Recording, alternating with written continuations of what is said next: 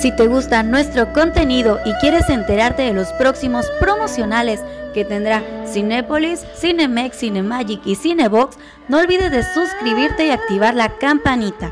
Deja tu like y tu comentario.